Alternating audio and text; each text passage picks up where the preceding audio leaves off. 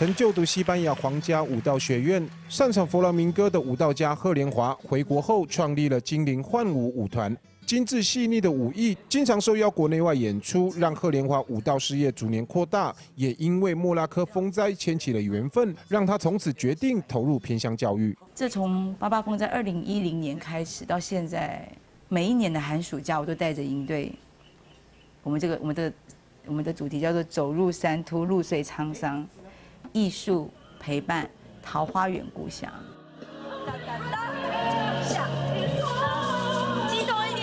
高雄桃园国中虽然没有专业的练习场地，但贺林华仍不放弃，坚持陪伴灾区的孩子，用舞蹈重拾信心。近八年来的努力，造就了不少舞蹈人才。舞蹈班去年更荣获全国舞蹈比赛首奖肯定。就自从刚学的时候，本来心情都很低落，然后一个是一个很很不乐观的女生。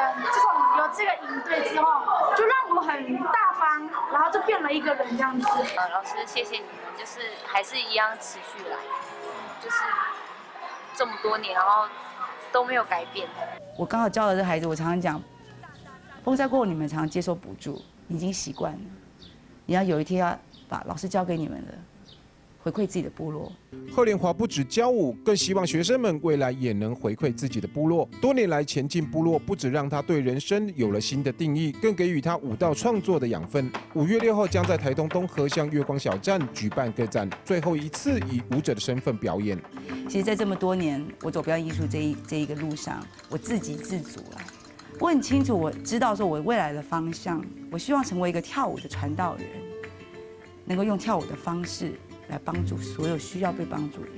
贺连华跳舞帮助不少孩子从八八风灾创伤中走出，而他将正式告别演出舞台，退居幕后。未来人生要用自己的力量，唤起更多人共同关心，投入偏乡跟部落教育工作。记者本格格的本台东东和采访报道。